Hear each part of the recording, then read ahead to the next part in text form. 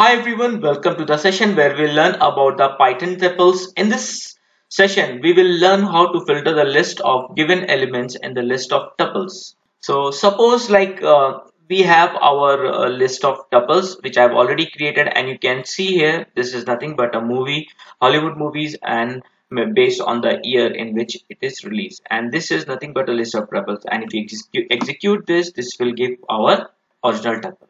Now what I want here is I want to if I pass in the value Titanic only the Titanic uh, the the entire tuple will be filtered out. And if we pass out matrix then whatever wherever uh, my matrix is present it should be filtered out. So how do we achieve this? So what we will say here is filter we'll say the filter term is equals to say any we'll say Titanic and then the filter output output this is equals to list. Okay before this I want to just show you here what I will use. I will use a lambda function and inside the lambda function I will use the python membership operator. Okay suppose I will say x is equals to tuple. I'll create a single tuple a simple tuple. Okay now x is nothing but a tuple. Now if I say a in x then it will throw me true. If I say b in x it will say true. If, if I say c in x it will throw false. This is the functionality that we will use in our lambda function. Now what we'll do we'll simply use the use filter and then we'll pass lambda and then we'll say x colon filter. What is the filter term that we are using? And then filter term in x. And what is my x the x is the entire list entire tuple that we are passing. And from where we will get this tuple? The list of movie list of tuples okay? This is now if we execute this what will happen? The filter object we are getting a filter object. So what we will do here? We will pass this inside a list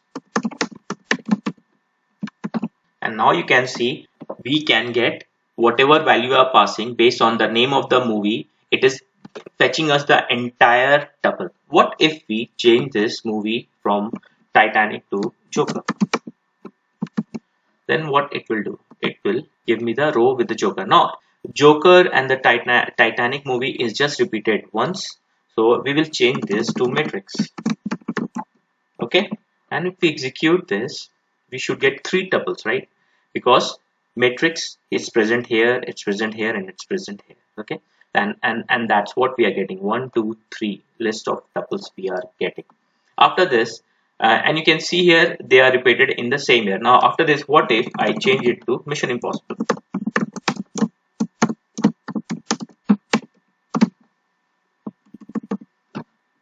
It is empty because the uh, the spelling of mission impossible is incorrect now we will rectify it and run it again.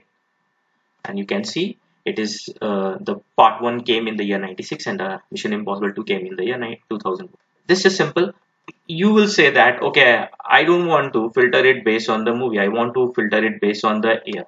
So what we will do we will simply pass here. Suppose we pass here 1999 okay and you can see in 1999 matrix 7 it is because it's repeated thrice. Now instead of this what we will do we'll do a simple uh, okay we'll do a simple modification here and we'll say joker suppose uh, matrix came in the year 2019 suppose okay. And then we will give here 2019 now if we execute this we should get matrix and joker okay matrix came in the 2019 and so so that's it for the session. Very simply we have found out how to filter the list of tuples based on the membership operator. So thanks a lot for watching the session. If you feel this video is helpful please uh, press the like button subscribe to this channel and also please refer my videos to your friend and comment if possible. Okay and i'll see you in my next video. Thank you